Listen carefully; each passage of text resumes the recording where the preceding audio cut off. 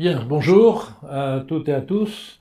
Donc, euh, que devons-nous aux sciences du 19e siècle? C'est le thème de la conférence de ce soir qui s'inscrit euh, dans le cadre d'ailleurs d'une exposition qui a été présentée par euh, l'Univers euh, au sujet de, donc, de Jules Verne.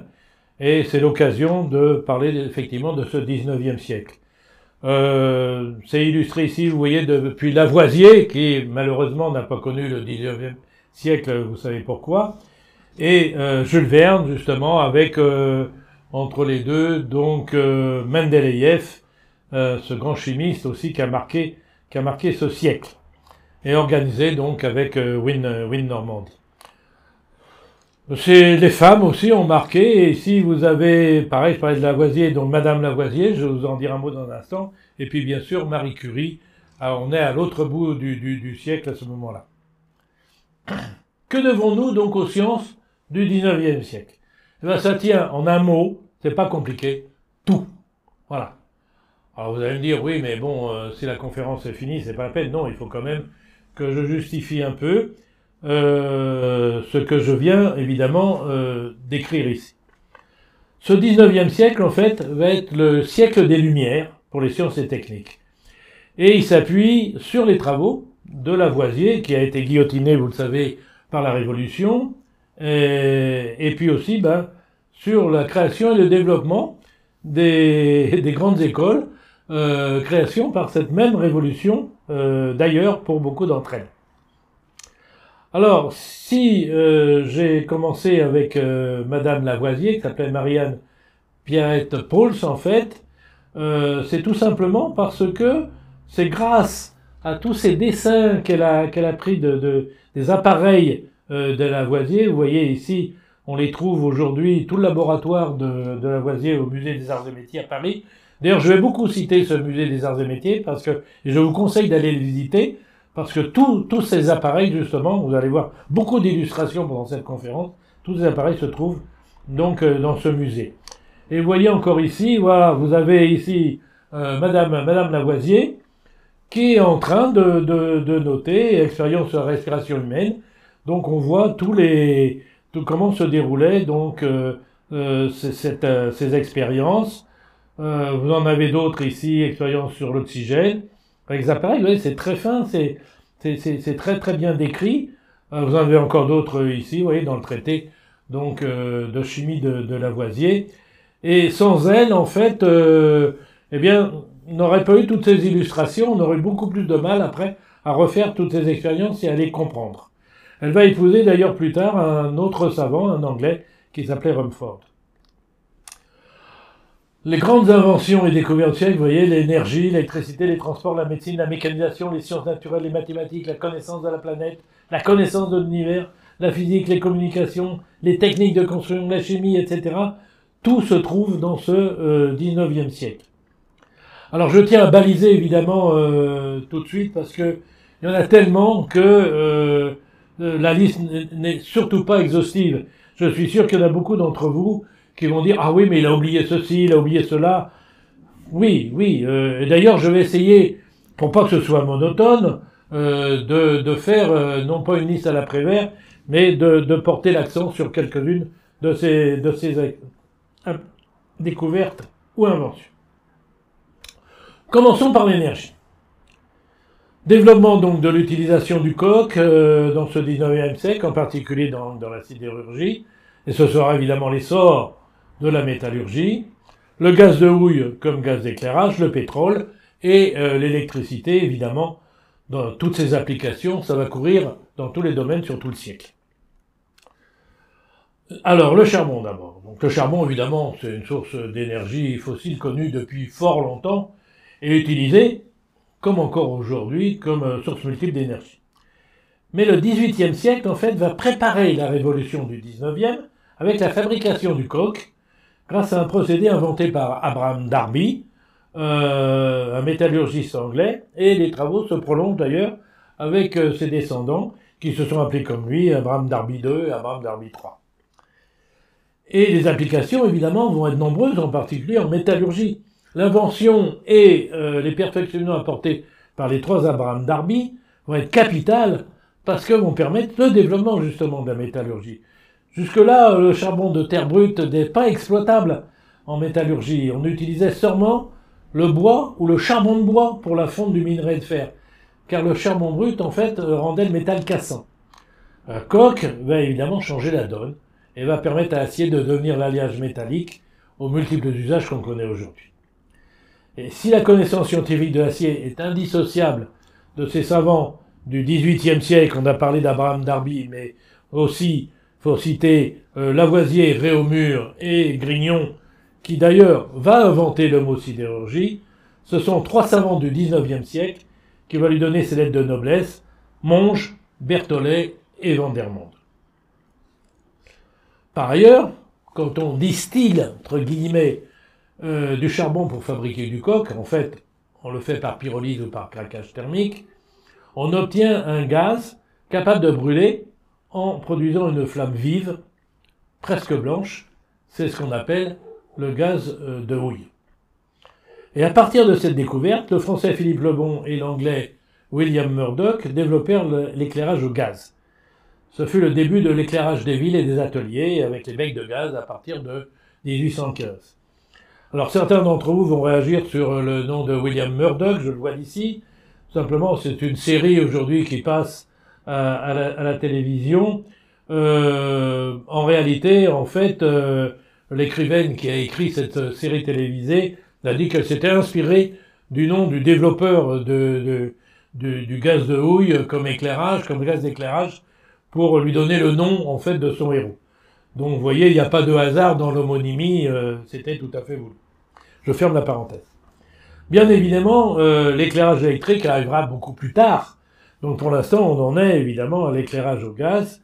Euh, arrivera beaucoup plus tard, mais quand même, hein, à la fin de ce 19e siècle, vous voyez, en 1878, l'éclairage électrique est installé avenue de l'Opéra, aux Halles et place de la Bastille.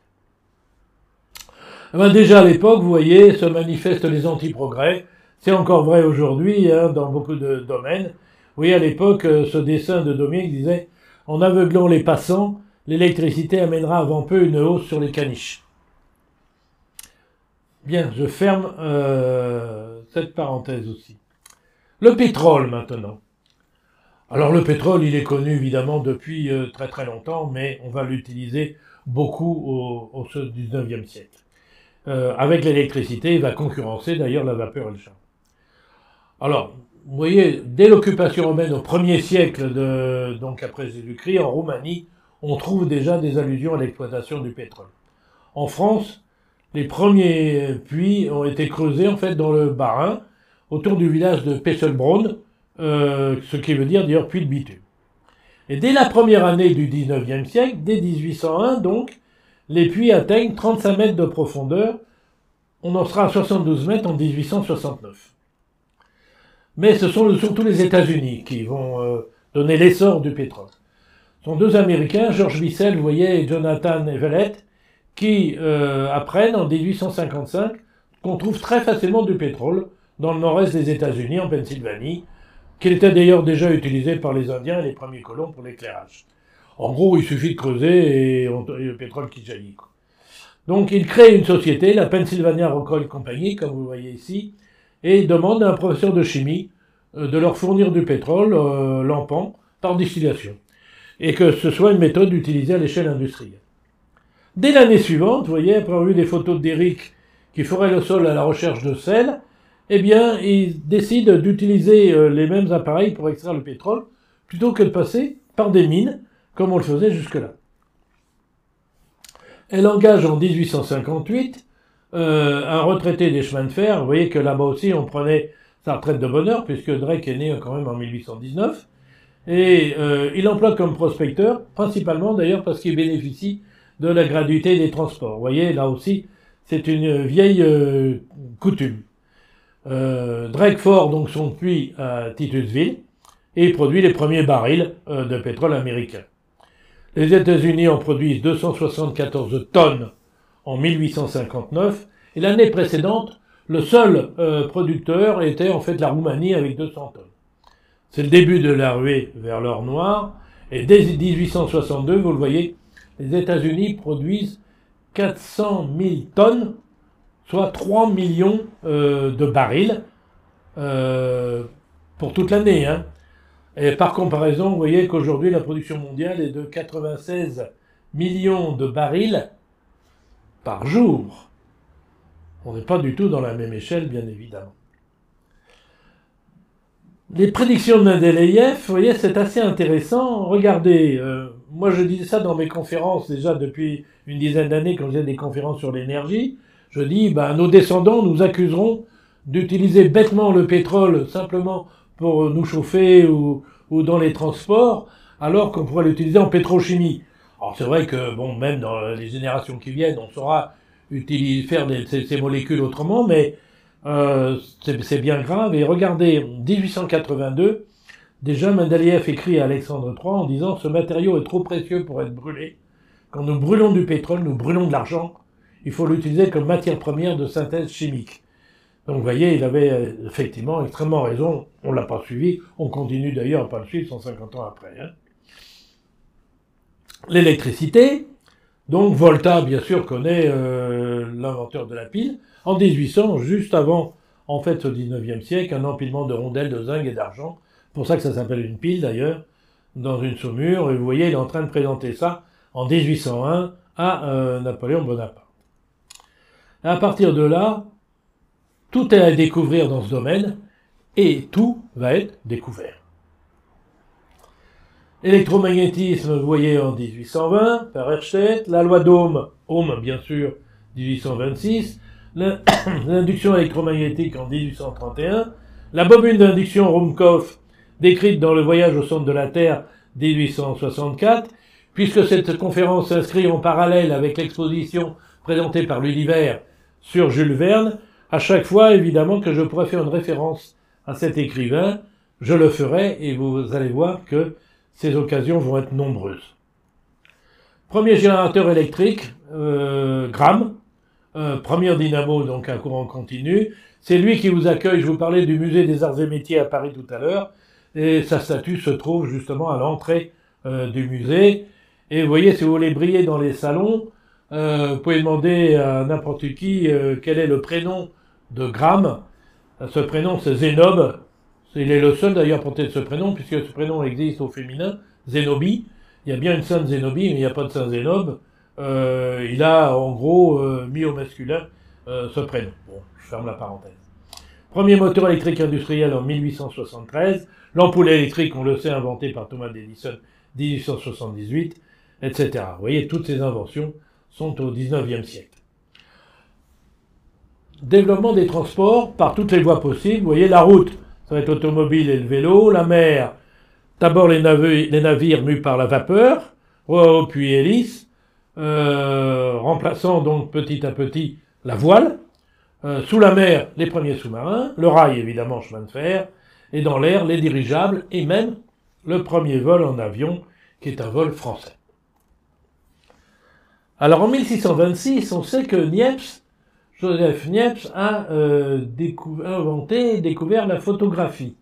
Mais en réalité, euh, il pensait qu'il passerait à la postérité par l'invention du premier moteur à explosion qu'il invente avec son frère Claude, qui s'appelait le pyréolophore, que vous voyez euh, ici, donc premier moteur à explosion 1807. Et ils obtiennent, vous voyez, de la part de Napoléon Ier, pour une période de dix années, un brevet d'invention pour leur moteur. Ils construisent donc une maquette de, bateau et lui font remonter le courant de la Saône. Il était à Chalon, hein, Chalon-sur-Saône euh, à l'époque. Leur moteur assure la propulsion en aspirant puis en refoulant l'eau. Vous voyez, ça vient de pire, le, nom, feu, et le, vent est fort, je porte, je produis. Il a été reconstitué d'ailleurs ce moteur en 2007. Euh, Vous savez qu'il y a une école euh, supérieur des arts et métiers qui se trouve donc à Chalon-sur-Saône et les élèves donc de Chalon ont eu à cœur pour le bicentenaire de l'invention de euh, refaire donc cette de remonter aussi d'ailleurs euh, la Saône et maintenant ce moteur est à la maison de nice et à Saint-Loup-de-Varennes qui était leur, leur ville de, de naissance. Assez curieusement, en fait, le premier véhicule automobile, c'est même avant donc le 19e siècle, c'est le fardier, donc euh, proposé d'ailleurs, euh, inventé certes entre 1769 et 1771, mais qui a été proposé à Napoléon pour suivre son infanterie au début du XIXe siècle. Vous le retrouvez là aussi au musée des arts et métiers à Paris. Et euh, bon, euh, en fait, il faudra attendre quand même la fin du siècle avec le moteur à combustion interne et non l'utilisation de la vapeur pour voir se développer ce mode de commotion. Parce que vous voyez que là, c'est quand même un petit peu compliqué, un petit peu, un petit peu lourd. Alors, il n'allait pas très vite, hein, il faisait 3-4 km heure, mais c'était dans le cahier des charges. Il devait suivre l'infanterie. Simplement, porter, transporter, en fait, euh, donc, euh, tous les éléments nécessaires à cette infanterie, euh, et puis la suivre. Voici une autre, une autre vue de ce... Vous voyez, donc c'est essentiellement cette plateforme-là. Transport maritime, 1798, donc juste avant ce 19e siècle, Robert Fulton est le premier à proposer un modèle de sous-marin. Comme il admirait la Révolution française, et eh ben, il s'installe en France. Et en 1802, en fait, il, lance un chaland à vapeur. Euh, donc pour l'instant, il laisse tomber le sous-marin. Un chaland à vapeur, mais ça attire pas, ça intéresse pas trop euh, les Français. Et il repart aux États-Unis. Et là, vous le voyez, il ouvre la première ligne commerciale régulière à vapeur sur l'Hudson, avec un bateau qui s'appelait le Clermont, entre New York et Albany.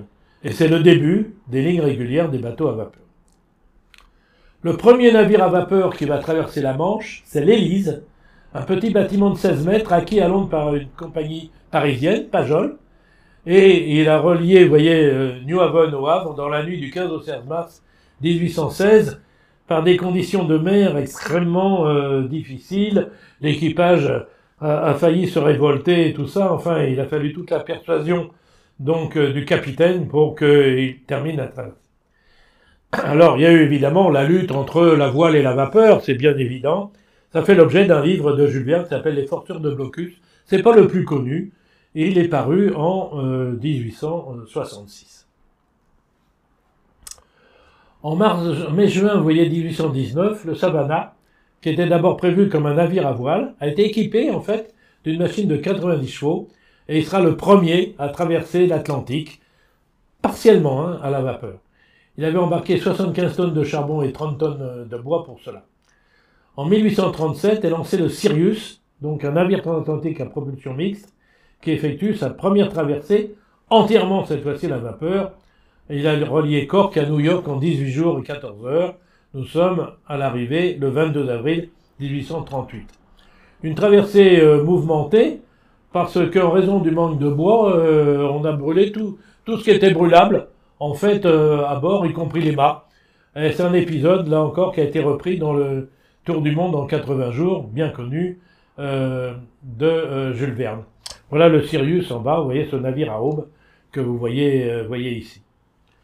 Euh, ce record, d'ailleurs, a été battu dès le lendemain par son concurrent, le Great Western. Et le Sirius, donc, du coup, bon, euh, ayant été battu, euh, a perdu son prestige, il était petit, et il n'a pas effectué d'autres voyages. L'invention de l'hélice va remplacer évidemment les roues à aube.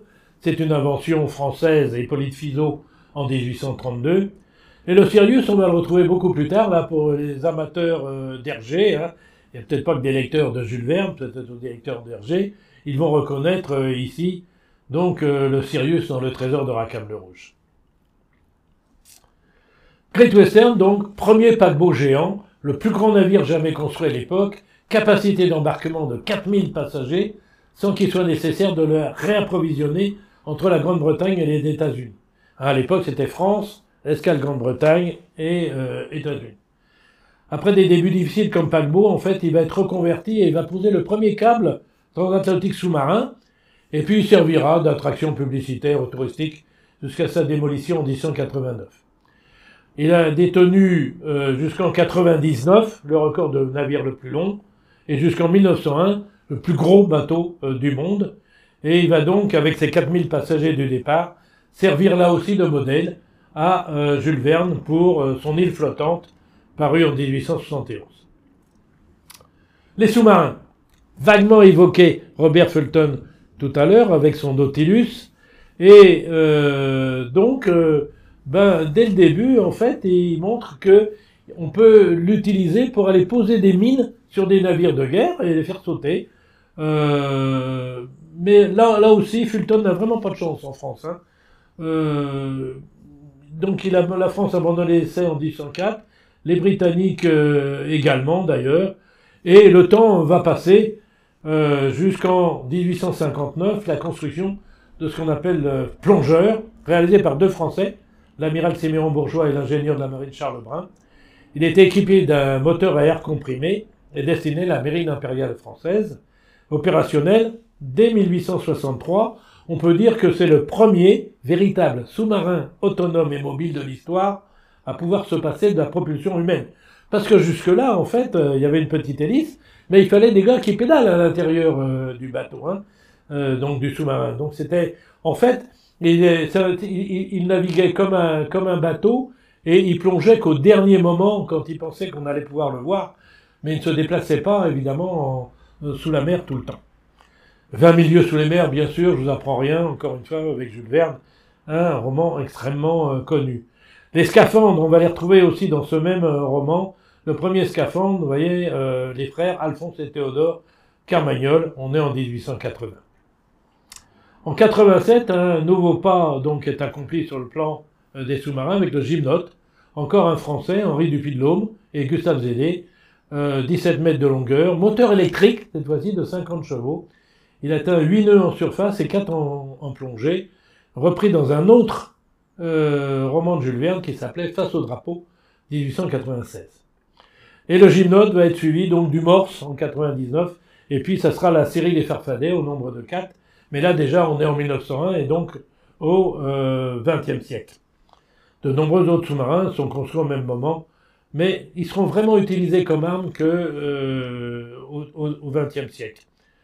Alors je fais une petite entorse là, évidemment, étant dans la région de Cherbourg, euh, une pensée particulière, tout à fait hors sujet, mais quand même, euh, une pensée pour le Vendémiaire, qui était un sous-marin de type pluviose, et qui a été éperonné, au cours de manœuvre d'ailleurs, hein, on n'est pas pendant la guerre, là, éperonné et coulé le 8 juin 1912 avec 24 marins à bord, aucun rescapé, bien malheureusement.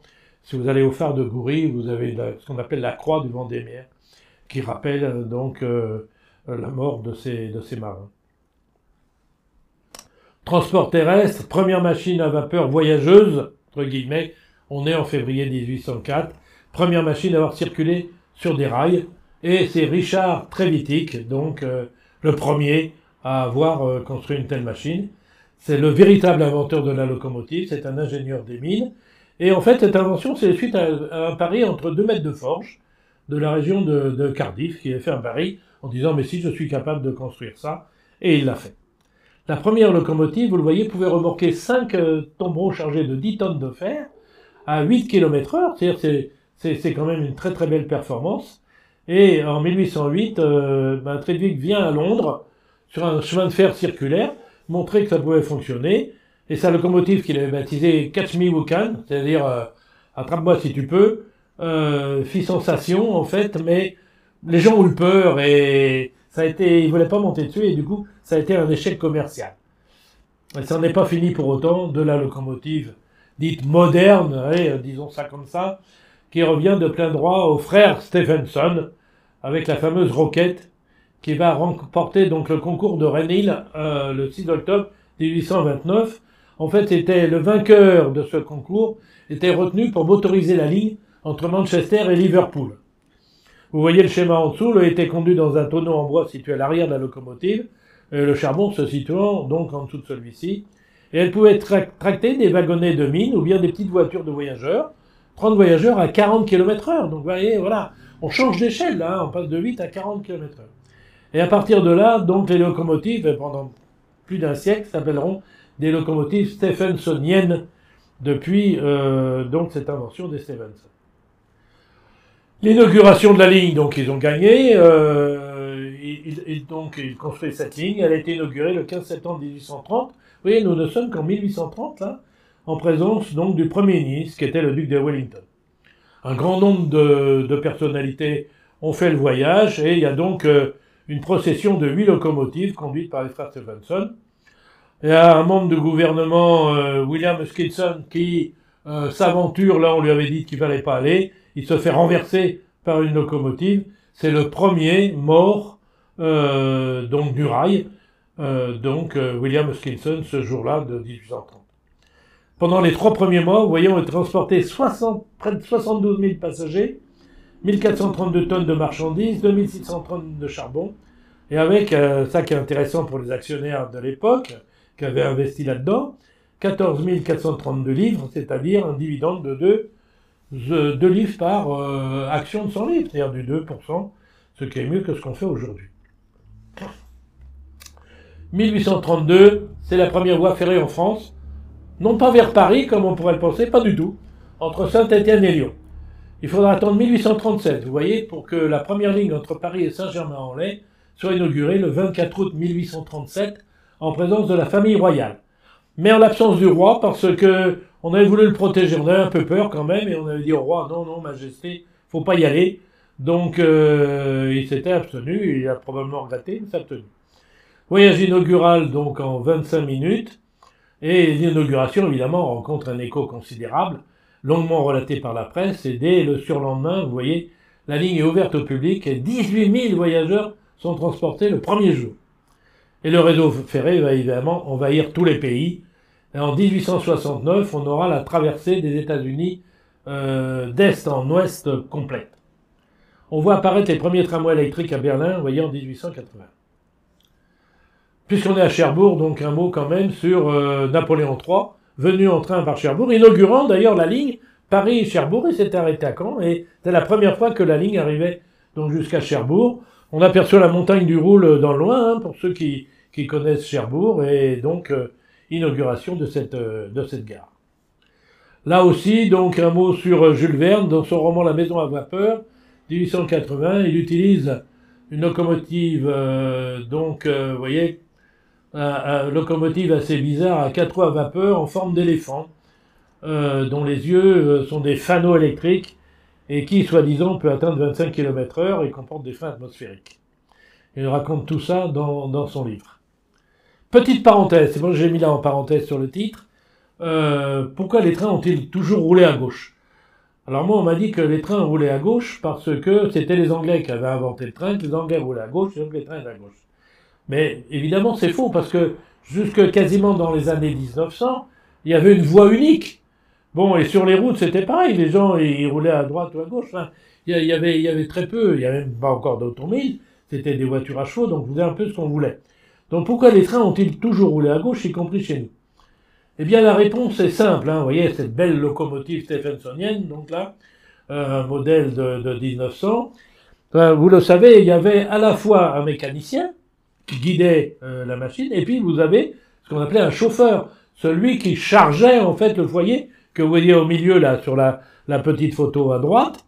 Donc euh, ce chauffeur, quand on regarde, donc il se situe sur la droite, le mécanicien est à gauche, et en fait il voit rien, euh, le mécanicien. Et s'il veut voir quelque chose, il faut qu'il se penche, comme vous le voyez euh, en dessous. Ça c'est donc Jean Gabin dans La Bête humaine. et donc, si les trains roulent à droite, et si au moment où il se penche pour regarder, il y a un autre train qui arrive, eh bien évidemment, il, se fait décapiter. Et donc, euh, ben, c'est le contraire, si le train roule à gauche, il ne craint rien, puisque le train serait de l'autre côté.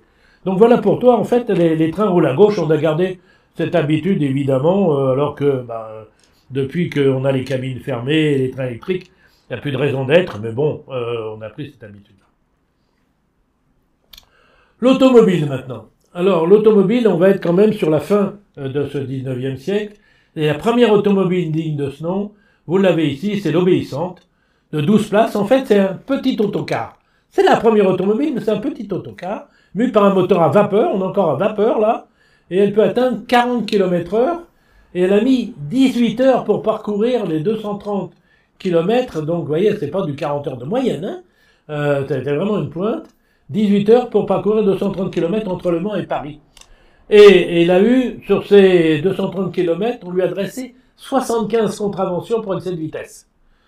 Alors, euh, il a été malin à bolets. Le lendemain, donc, il est arrivé à Paris. Il a proposé au préfet euh, de Paris de faire un tour dans sa machine. Le préfet était tout content. Et puis après, ben, il lui a dit, écoutez, monsieur le préfet, voilà, 75 contraventions, est-ce que vous pourriez pas faire un effort pour moi? Hop, les, contraventions ont été balayées. Le premier aller-retour, vous voyez, sera en 1875, avec d'ailleurs un crochet par, Orléans.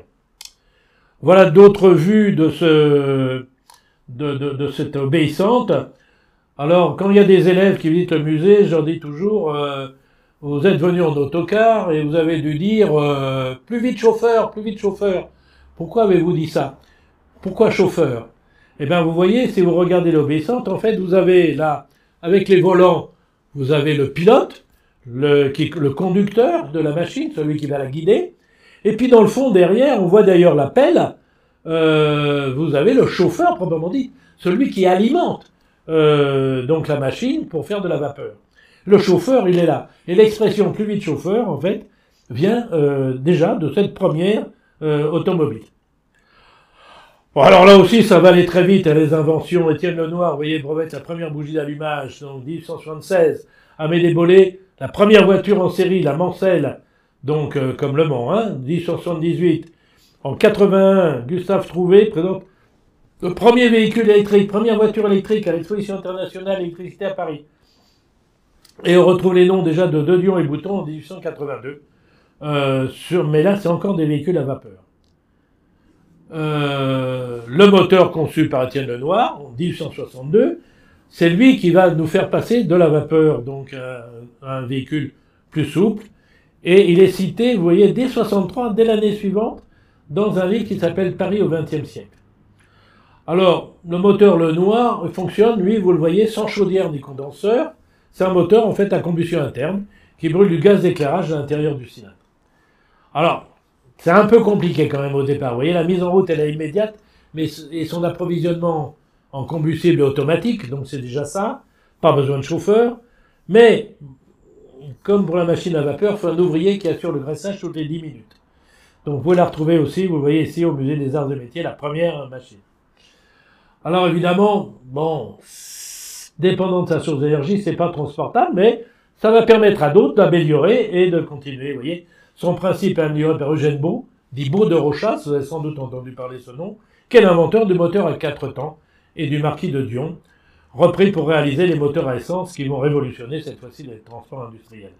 Le premier essai avec un moteur de 4 ans, fait d'ailleurs par Étienne Lenoir, 1883, il parcourt les 9 km entre Paris et Joinville en 3 heures. Alors vous voyez, ces premiers véhicules, en fait, on a vraiment l'impression des, charrettes à chevaux euh, pour lesquelles on a mis un moteur. Hein. Bon. La première automobile mue par un moteur à 4 temps, vous voyez, c'est Édouard Delamarre de Bouteville et Léon Malandin, des noms qu'on a un peu, un peu oubliés, mais il n'empêche que ce sont les premiers quand même. Premier tricycle allemand par Karl Benz, hein, un nom qu'on va retrouver, Mercedes-Benz, hein, ça dit à tout le monde. 1886, Karl Benz. La première automobile de 324 roues, c'est une Daimler, 1889. Et apparaissent, voyez, en 90 en France, les noms de Peugeot, Panhard, Levasseur. Renault, ça sera un peu plus tard, 1898. Mais on est encore au 19e siècle, vous voyez que tout le décor est planté, y compris d'ailleurs entre 93 et 97, vous voyez, le moteur diesel par Rodolphe Diesel qui s'est quand même inspiré toutefois euh, du moteur Le Noir. Hein. Alors vous pouvez retrouver ces, tous ces premiers véhicules, encore une fois, dans ce musée. Vous pouvez le voir d'en dessous, vous pouvez le voir d'au-dessus, parce que vous voyez, c'est dans la, ce qu'on appelle la chapelle euh, du musée. On les a mis comme ça sur l'étage. Ça permet de pouvoir les voir, et vous retrouvez tout en bas d'ailleurs euh, l'obéissante d'Amédée Bollé. Euh, et puis tout en haut, d'ailleurs, vous avez les, les, premiers avions, dont celui de Louis Blériot, qui traversera, mais ça sera au XXe siècle, euh, la Manche. 1899, on est à la fin du XIXe siècle, mais on y est encore. Camille Genazzi, qui est le premier à dépasser les 100 km heure à HR, et c'est un véhicule électrique. La jamais contente. La première automobile américaine, hein, on a beau dire sur les Américains, mais vous voyez, ça, ils sont absents pour l'instant ça sera seulement au XXe siècle, l'automobile euh, Curve Dash. Il y a aussi évidemment tous les, toutes les bicyclettes, tous les, vélos, mais euh, voilà, on va pas s'attarder là-dessus. Vous pouvez les retrouver aussi au musée. Les transports par voie aérienne. Alors les premiers équipages, évidemment, qui s'élevaient au-dessus du sol, vous en souvenez sans doute, on n'est pas encore au XIXe siècle. Le premier vol humain, jamais réalisé au monde, ça sera par des Français, deux Français le 21 novembre 1783, Pilate de Rosier et le marquis d'Arlande. Et la première femme à voler, d'ailleurs, c'est très peu de temps après, juste l'année suivante, c'est Elisabeth Tible à Lyon.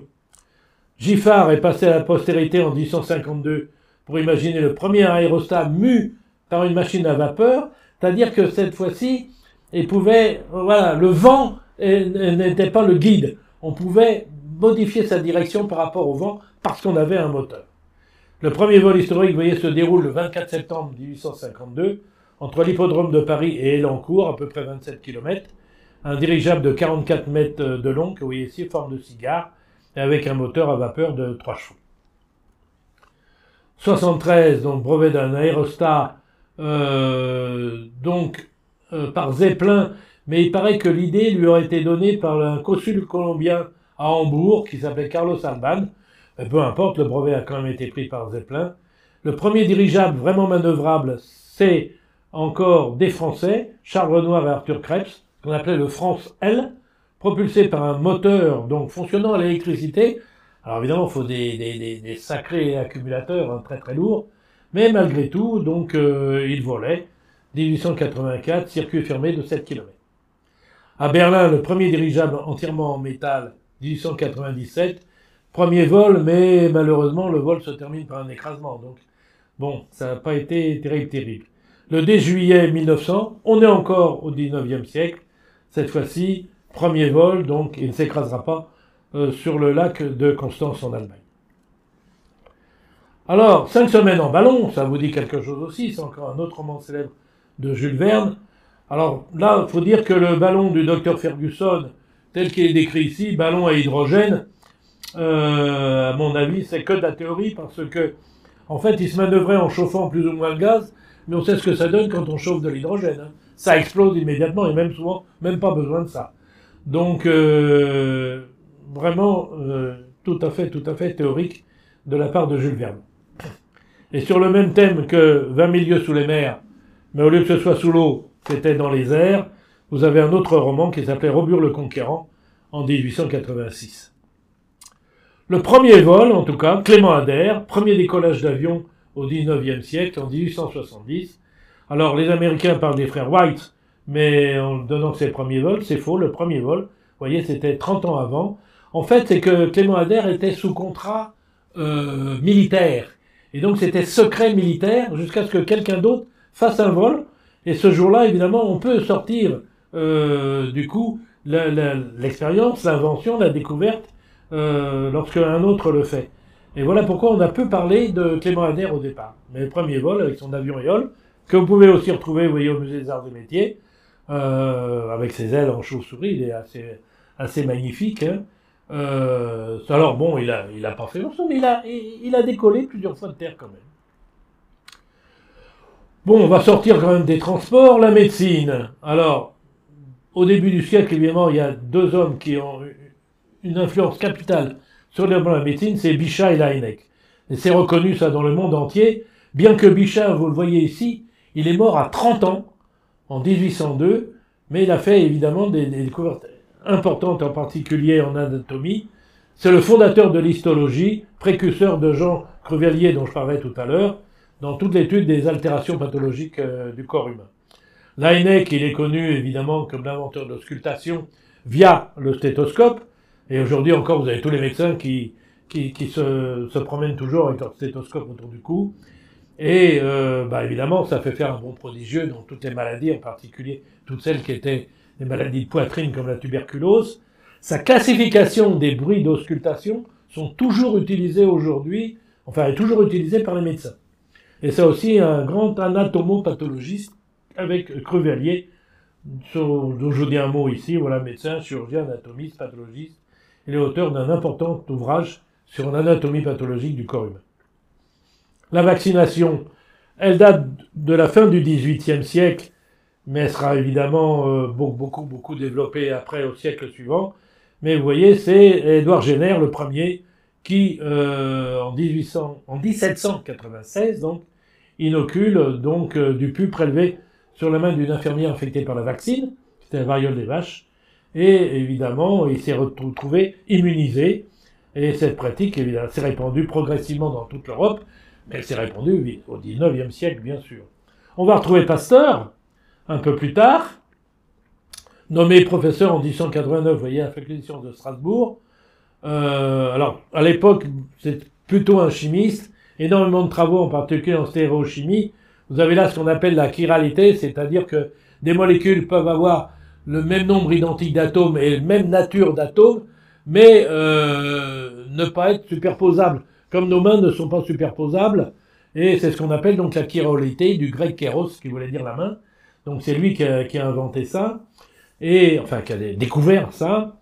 Euh, mais après, vous voyez, reprendre des travaux sur la fermentation, réfute la théorie de la génération spontanée, énorme bagarre hein, entre spécialistes de l'époque, et euh, vaccin donc contre le charbon, puis antirabique, bien sûr, pour lequel il est euh, très connu, donc avec euh, le petit euh, Joseph euh, Meister, qui d'ailleurs deviendra, travaillera après l'Institut Pasteur, et va mourir, va se suicider en fait à l'entrée des Allemands dans Paris. il n'a pas supporté ça, c'était un Alsacien, et quand il a vu les Allemands donc parcourir les rues de Paris en triomphateur, eh bien, il s'est suicidé. Nicolas Appert, la, pasteurisation, ce qu'on appellera plus tard l'apertisation, euh, dès 1813, vous voyez, euh, procédé de conservation. Alors le problème de Appert, c'est qu'il n'a pas voulu déposer de brevet en disant je fais un livre et que ça serve au monde entier. Et ben les Anglais, eux, ont breveté. Et ce sont les Anglais qui ont récupéré évidemment les royalties. Euh.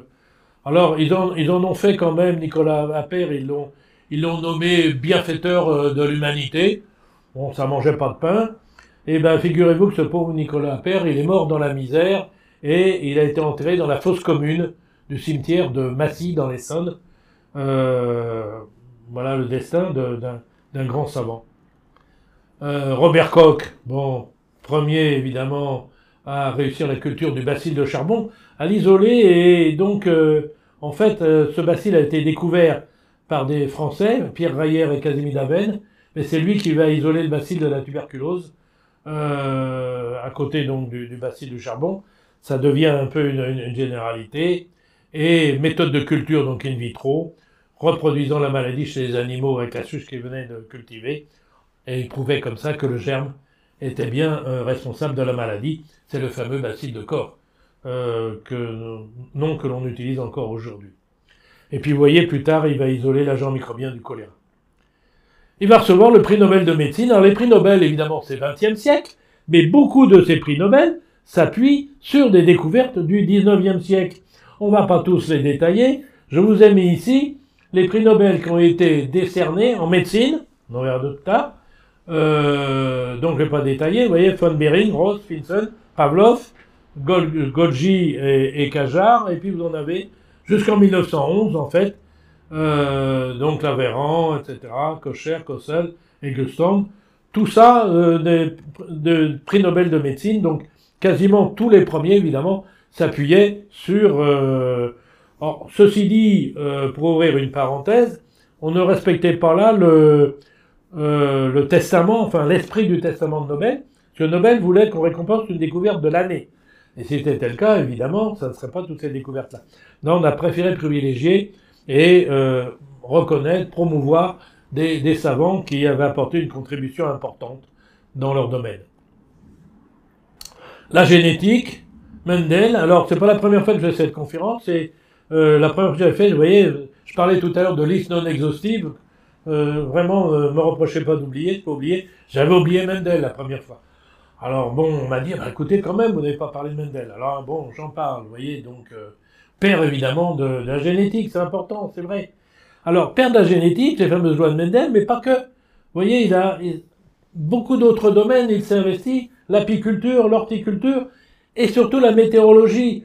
Euh, pour ses contemporains, en fait, si on avait dit Mendel, euh, qu'est-ce qu'il va laisser comme trace dans l'histoire?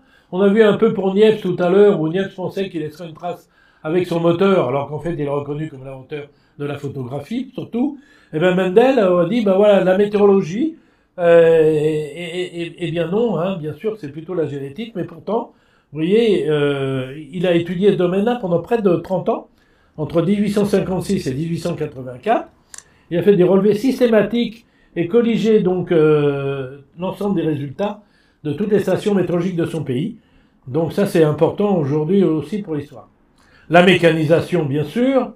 Euh, j'avance, hein, ne vous inquiétez pas, j'avance, j'avance. 1801, le métier à tisser de jacquard. 1852, les premières locomobiles, ancêtres donc euh, euh, des, tracteurs d'aujourd'hui pour remplacer les chevaux. L'invention de la presse rotative 1845. La première moissonneuse zilleuse 1875 qui permettait de débiter jusqu'à 400 hectolitres de blé par jour. Cette fois-ci, vous voyez, on est au musée des arts et traditions populaires de Draguignan. Un grand nombre de sociétés savantes voient le jour. Quand je dis un grand nombre, c'est des centaines. Hein. Alors, un mot évidemment pour la Société des sciences de, Cherbourg, puisqu'on est à, Cherbourg, vous voyez, qui a été fondée en 1852 par euh, Emmanuel Lié, Auguste Le Joly et Théodose Dumoncel et dont j'ai l'honneur, comme vous le savez, d'être le directeur depuis 2013. Les sciences naturelles, botanique, zoologie, mycologie, archéologie, entomologie, minéralogie, là, vous voyez, on est dans des, dans des listes un peu à la Prévert. Le, ça sera le siècle des classements, en fait. Hein. Quand vous regardez ça, vous voyez, espèce, genre, famille, ordre, classe, etc. Donc, euh, apporter une rigueur scientifique. C'est vrai qu'on connaissait déjà beaucoup de choses dans les siècles passés, mais c'est ce siècle-là qui va tout, tout ordonné, et euh, donc ce qu'on appelait à l'époque la taxinomie euh, jusqu'en 64, et puis après donc euh, taxonomie, plutôt taxonomie au début, et appelée taxinomie maintenant. Darwin, bien sûr, est le pape euh, de tout ça. Premier arbre botanique, donc, ou arbre généalogique des plantes, publié en 1801, donc première année du siècle, par Augustin Augier. Stephen Hundlicher, vous voyez, va décrire 277 familles, 6895 genres, regroupés en familles de 52 classes, réunis en régions, sections, cohortes. Vous voyez, ce classement, voilà, un, souci énorme. Et les grands noms de la botanique vont être Cuvier, bien sûr, Geoffroy Saint-Hilaire, Lamarck, Darwin, etc. C'est au XIXe siècle aussi qu'on va étudier toutes les branches de la zoologie, en même temps que vont être fondées la paléontologie, l'embryologie et la tératologie. Et on retrouve les mêmes, Cuvier, Geoffroy Saint-Hilaire, Lamarck, Darwin, bien sûr. On peut y ajouter Audubon et ses dessins, Haeckel, Huxley et bien d'autres. Ces découvertes sont euh, d'autant plus nombreuses que ils vont porter leur nom sur des domaines qui avaient été négligés, en fait, dans des domaines négligés par les observateurs des siècles précédents. La mycologie, 19e siècle, pareil, véritable étude scientifique rigoureuse euh, des champignons, les travaux de Linné et Paulet. C'est Paulet d'ailleurs qui va inventer le, mot euh, mycologie. Et euh, un certain nombre d'ouvrages que vous voyez ici, dont certains d'ailleurs sont encore en usage aujourd'hui. Je ne vais pas détailler, je ne veux pas perdre trop, trop de temps là-dessus. Vous pourrez revenir, faire une pause, puisque ça va être sur Internet, sur cette planche, pour revoir tout ça en détail. Le travail important, donc, a abouti en fait à un code qui a été créé en 1905 et qui fait toujours jurisprudence aujourd'hui, le Code international de nomenclature botanique. L'archéologie, vous voyez, on n'est pas au bout de nos peines, a commencé à se développer grâce au développement euh, de ce qui a été vu uniquement à partir de cette époque-là comme une science, donc du coup avec une certaine rigueur. Et évidemment Champollion, bien sûr, mais pas que. Boucher de Perte, Picard, Lenoir, Mérimée euh, ont apporté leur contribution. L'entomologie, euh, en 1800, en fait, vous voyez, le nombre total d'espèces d'insectes était déjà pas mal, hein, était de 20 000. Aujourd'hui, on en est à 1,3 million d'espèces décrites, et on dit que chaque année, on euh, inventorie 10 000 nouvelles espèces. Euh, au 19e siècle, donc, l'entomologie se développe et évidemment autour de Darwin et de Fabre.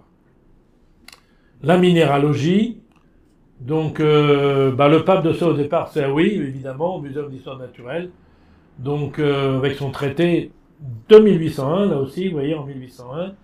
Et puis là aussi, bon, je vais pas, je vais pas tout tout détailler, mais vous voyez qu'on a énormément donc d'ouvrages là-dessus. Si ça vous intéresse, vous pouvez redétailler tout ça. On évoquera plus loin les éléments d'ailleurs euh, découverts au cours du siècle par Mendeleïev.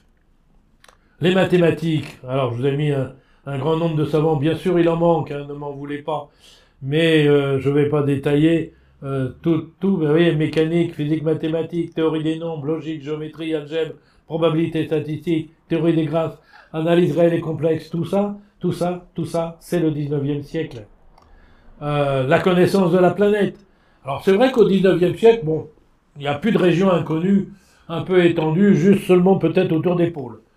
Mais à aucune époque on a fait, on a fait autant de voyages nombreux et fructueux qu'à cette époque-là. Alors évidemment, euh, grâce aux progrès qui ont été faits dans d'autres dans, domaines, hein, mais euh, c'est surtout là que on va affiner en fait toute la cartographie et tous les tous les relevés. Vous voyez en bas ici le relief de l'île centrale n'est connu que dans la deuxième moitié du 19e siècle. Australie, donc euh, carte de l'Australie, on va la voir quand même à la fin euh, du 19e siècle. En Amérique, elle est fort important dans les régions comme les Rocheuses, dont on savait quasiment rien jusqu'en 1820. Donc les États sud-américains, euh, même chose. Et l'Afrique, on concentre sur de nombreux, nombreux pays. Alors vous retrouvez les noms de Caillé, encore Darwin, Livingstone, Stanley, Savorian de Brazza, Charles de Foucault, tous ces noms bien, bien connus, tous ces voyages. Ici, vous avez Louis Fraissinet, ses explorations en terre australe, Louis Dupéret avec l'Australie, et vous voyez, quand je vous ai les découvertes dans les bateaux, bien sûr, mais la conservation des aliments, tout à l'heure, la pertisation, c'est à la découverte de Nicolas Appert, a permis de faire des, pouvoir conserver euh, les aliments et de faire des voyages euh, beaucoup, beaucoup plus longs, euh, comme celui donc de, du mont, du mont d'Urville, la Polynésie, l'expédition polaire, etc. Alors là aussi, on va retrouver, regardez, côté Jules Verne, les aventures du capitaine Alteras en 1866, les enfants du capitaine Grant 70, les aventures de trois Russes et trois Anglais dans l'Afrique australe, un livre qui est très intéressant, moins connu mais très intéressant, 72, et la Jagada, la découverte de l'Amazone en 80. Donc euh, l'univers, alors le premier jour du siècle, c'est pas difficile. 1er janvier 1801, c'est la découverte du premier astéroïde. Voilà, Cérès. Donc par un Italien, Giuseppe Piazzi. Et en, 1921, vous voyez, on en avait 1000. En 69, on en avait 100 fois plus. On est à 600 000 astéroïdes aujourd'hui. Et puis un certain nombre donc de météorites, les comètes, etc. Euh, le Verrier avec la position de Neptune, euh, donc les premiers satellites de, Saturne, etc. Donc euh, et ça continue encore ici. L'expérience du pendule de Foucault que vous pouvez retrouver au, au musée des arts et métiers, et encore découvertes, vous voyez, de satellites d'Uranus, etc. Énormément donc de découvertes dans, dans, ce siècle. Le premier satellite de Jupiter en 92, il y en a 60 maintenant, mais le premier confirmé, c'était un Maltais premier. Ici, quelque chose d'assez intéressant. vous savez, la Terre à la Lune, autour de la Lune, Hector Savalac, euh, trois romans de Jules Verne. Et en fait, euh, c'est assez bluffant. Euh, C'était d'ailleurs très bien présenté dans l'exposition de l'univers. Vous avez cet extrait, vous voyez, Barbicane semble dire mes pieds à terre, pris ses instruments et commence à relever sa position avec une extrême précision. La petite troupe rangée autour de lui l'examinait en gardant un profond silence. C'est ici, d'ici même, répéta-t-il en frappant du pied le sommet de Strands Hill, que notre projectile s'envolera dans les espaces du monde solaire, de la Terre à la Lune. Vous voyez où est Stone Hill? Et regardez juste au-dessus Cap Canaveral. Donc euh, il aurait pu être n'importe où, Jules Verne. Hein. vous voyez, vous avez Tampa, on est bien en Floride, Miami. Cap Canaveral, c'est juste à côté de Hill. Qu'est-ce qui a fait trouver cet endroit-là, Jules Verne? Nul ne sait, parce qu'évidemment, Personne n'a pu lui poser la question. La physique, alors c'est pareil, vous voyez, dilatation des gaz, thermodynamique, vitesse de lumière, les lois de Joule, le nombre d'Avogadro, l'effet Doppler, les lois de Kirchhoff, les lois de conservation de l'énergie, l'analyse spectrale, l'électromagnétisme, et je ne suis qu'en 1864, euh, l'effet piézoélectrique, les rayons X, le premier modèle de l'atome, 1895, les découvertes de l'électron par Thomson, les rayons uraniques par Becquerel, la radioactivité par Pierre et Marie Curie, les rayons gamma par Villard, et nous sommes en 1900. Le rayon vert, un ouvrage encore une fois de Jules Verne en 1882. On a l'ébauche en fait de toute la physique atomique et nucléaire et les prémices donc d'une nouvelle énergie dont l'émission au minimum 2 millions de fois plus élevée que l'énergie chimique par unité de masse et sans envoyer de gaz à effet de serre comme on dit aujourd'hui. Toujours important de pouvoir prôner cette énergie nucléaire et donc pas découverte bien sûr au 19e siècle mais toutes les bases y étaient à partir de ce moment-là. Là aussi évidemment un certain nombre de, prix Nobel euh, vous voyez, Röntgen, Lorentz, Becquerel, Curie, Rayleigh, Lennart, Thomson, et j'en ai encore une page ici, jusqu'en 1912, Michelson, Liebmann, Marconi, Van der Waals, Wien et Dahlen, tout ça sur des découvertes donc euh, euh, du 19e siècle. Alors, les communications sont images. Ben, on reprend quand même Niepce malgré tout avec la photographie, et son premier cliché de 1826. Euh, c'est son petit cousin en fait qui va coloriser euh, des photographies, vous voyez en 1858, et en utilisant du coup de ce qu'il appelait euh, des sels d'urane, donc d'uranium, s'est aperçu que ça faisait en fait des énormes taches dues à des rayonnements. Donc c'est le premier à avoir vu en fait ce que Becquerel ne verra que 35 ans plus tard, les rayons uraniques, mais il s'est mépris sur l'origine et il n'a pas poussé plus avant. Donc il ne va plus rien se passer pendant 35 ans jusqu'à la découverte d'Henri Becquerel. Bon, télégraphe, liaison télégraphique, exposition universelle, pantélégraphe, photographie en couleur, téléphone, théâtrophone par Clément Adler et l'invention du cinéma, bien sûr, des frères Lumière. Juste un mot sur le théâtrophone, en fait, c'était des, relations donc euh, par fil, c'était des appareils que les gens pouvaient louer alors il fallait pas trop trop loin de l'Opéra de Paris, mais vous pouviez écouter en direct avec des écouteurs le, ce qui était euh, produit euh, à l'opéra au même instant, tout à fait en direct. Et euh, donc il s'est beaucoup enrichi avec ce théâtrophone, Clément Adler, et c'est comme ça qu'après, donc, il a pu avoir assez d'argent pour construire son premier avion et faire son premier vol avant la fin du siècle. Alors, les techniques de construction rivet, euh, béton armé, ça aussi c'est 19e siècle. Hein, vous voyez, viaduc de Garabie en 1888, la Tour Eiffel 89, 2 500 000 rivets. Ça, l'invention du rivet a changé même dans la construction euh, donc des bateaux et donc pour les, plaques d'acier, ça a été une vraie, une vraie révolution. Donc, invention de la dynamite par Nobel, euh, donc en 1867 mais il attendra la première année du XXe siècle pour créer ces fameux euh, prix et du coup, en hommage, on lui donnera le nom à l'élément 102, le Nobelium. Alors, en chimie, c'est pareil, je vous rassure tout de suite, je ne vais pas tout développer, je vous ai mis les noms d'un certain nombre de, de savants ici, sur lesquels vous pourrez revenir, parce que la liste est vraiment très très longue. Les découvertes, évidemment, sont très longues et sortent de la chimie organique, vous voyez, l'écriture des réactions chimiques, la chimie structurale, la sérochimie avec le carbone tétrahydrique, la chiralité dont je vous ai parlé tout à l'heure, là, les mains euh, de, Pasteur, la biochimie, encore lui, le classement des éléments avant Mendeleïev et, même après, la chimie catalytique, la chimie atomique et moléculaire, etc. Tout ça, c'est le 19e siècle. Donc, euh, vous pouvez retrouver tout ça, d'ailleurs, dans le mémoire, je fais un peu de pub là, le mémoire 69 de la Société des sciences de Cherbourg, que vous pouvez vous procurer. Voici euh, ce mémoire, donc paru en 2014. Vous avez l'adresse, il euh, n'y a pas de souci.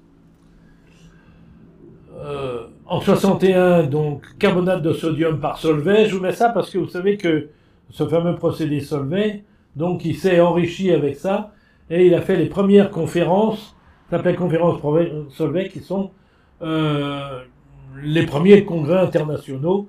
Il avait dit je rassemblerai à Bruxelles à mes frais les savants du monde entier pour qu'ils confrontent leurs résultats. Et vous avez ici Einstein, il est encore assez jeune, Rutherford, Marie Curie, euh, qui, qui, est sur son coude là, euh, euh, sur la table, la seule femme d'ailleurs présente.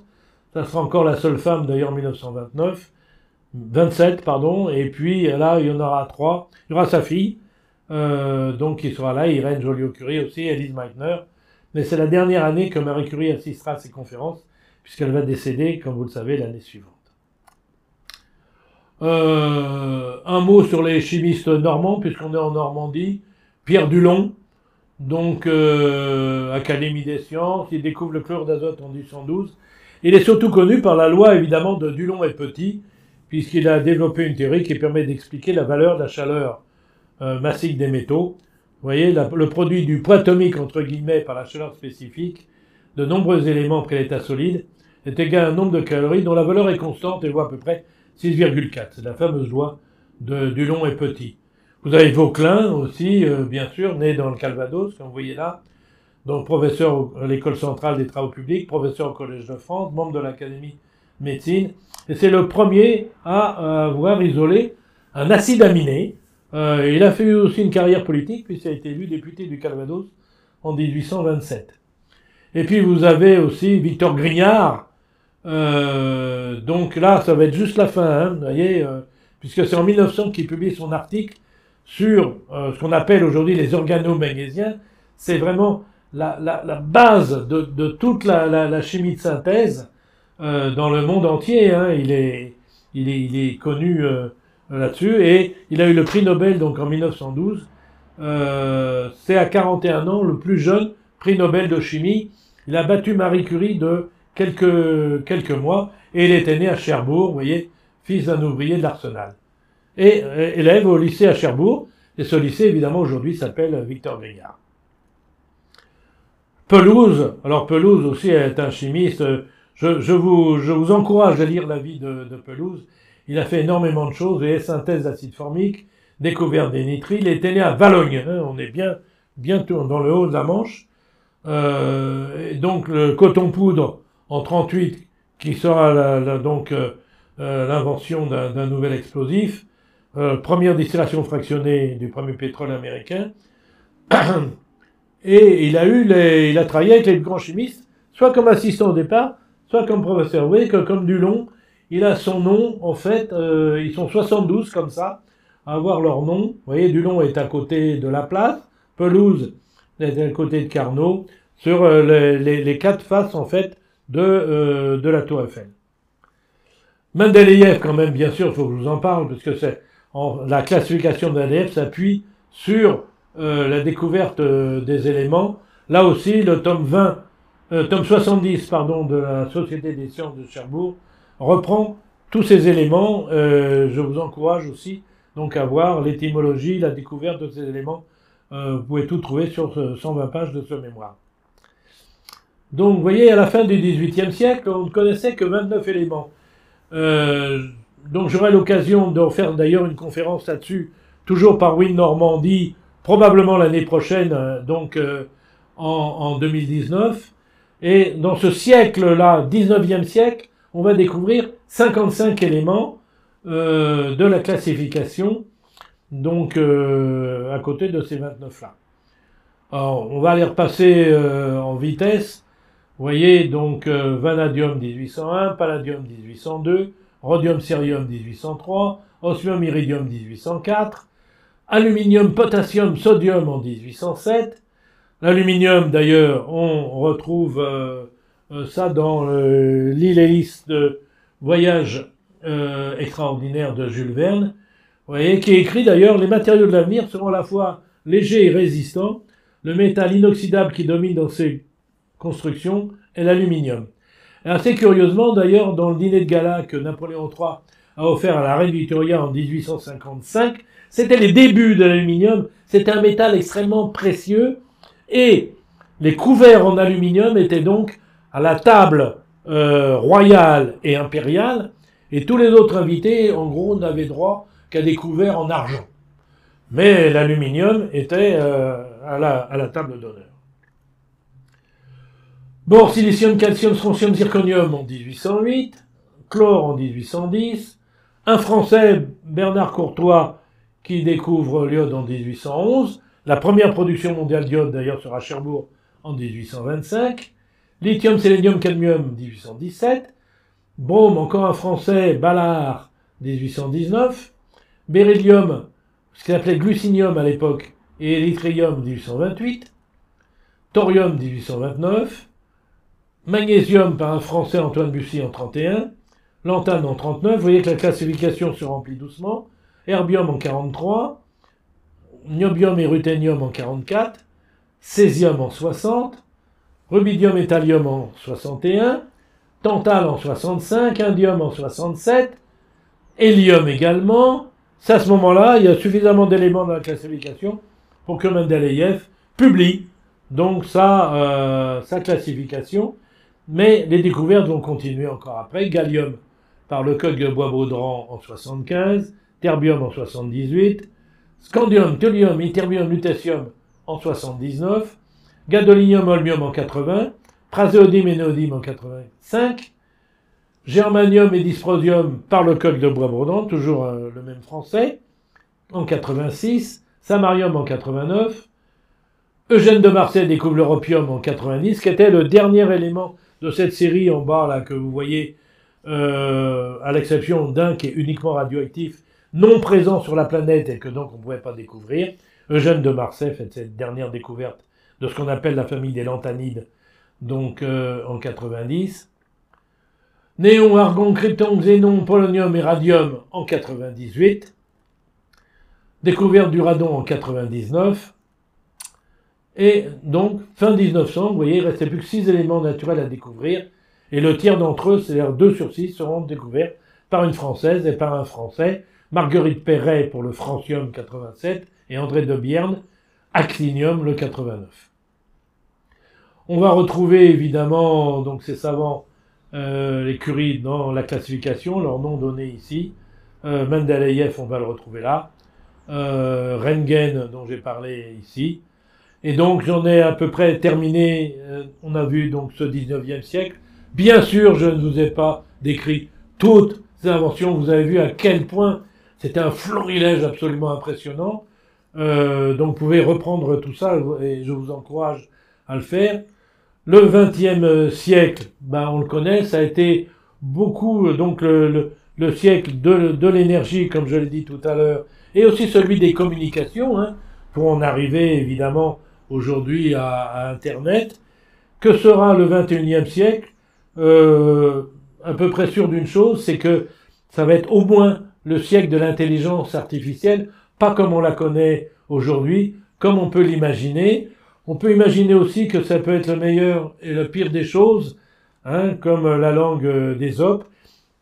Mais comme l'avait dit aussi Pierre Curie dans son discours euh, Nobel, hein, au moment de, de, recevoir son prix Nobel, et il a dit, ben, bon, euh, voilà, on peut pas arrêter une découverte, et à, la suite de ça, en prenant exemple sur Nobel qui avait inventé la dynamite, qui a porté un progrès évidemment pour les, pour les hommes, pour tracer des routes ou autres, ou des, ou des chenaux ou des canaux, mais qui pouvait être la pire des choses dans les mains évidemment d'assassins et de meurtriers, mais qu'on peut se reposer sur la sagesse de l'homme. Il faut espérer que ce sera la même chose pour euh, ces découvertes du XXIe siècle. Voilà, je vous remercie beaucoup de votre attention. Bien sûr, vous l'avez compris, je remercie la bibliothèque donc de Cherbourg, la Société des sciences naturelles et mathématiques, euh, le musée des arts et métiers que j'ai beaucoup cité, et puis vous tous euh, pour votre attention.